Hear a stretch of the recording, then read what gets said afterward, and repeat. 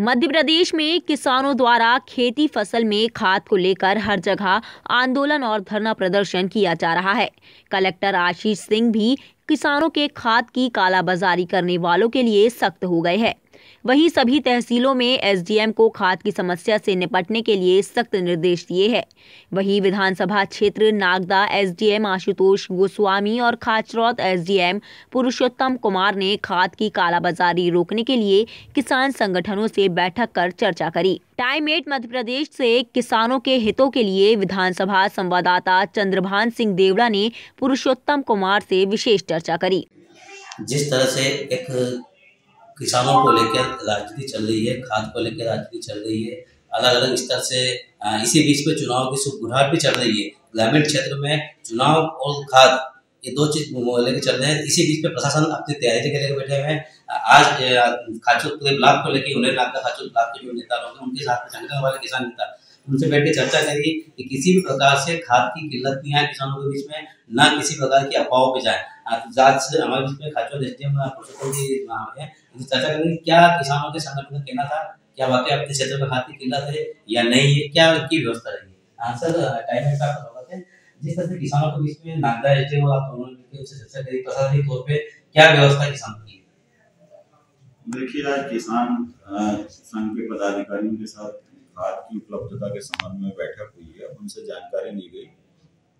प्रशासन का यही प्रयास है कि खाद की किसी प्रकार की समस्या ना हो, उचित दाम पर मिले, कोई कालाबाजारी ना हो।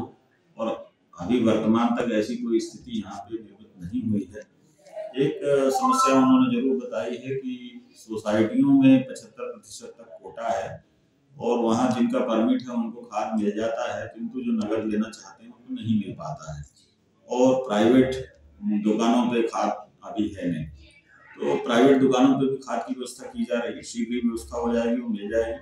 और सोसाइटियों से भी नगद वितरण के संबंध में जो है जिला स्तर से कार्रवाई की जा रही है। संभवतः आजकल में उसके भी आदेश प्राप्त हो सकते हैं। जिस तरह से अन्य ज़िले के अन्य तहसीलों में खाद को रेट को लेकर कोई ज़्यादा कीमत दे रहे हैं सोसाइटी में कम दे रहे हैं यहाँ आपके संगठन में चर्चा आपके बीच में नहीं इस प्रकार की कोई फ़िलहाल बात नहीं आई है।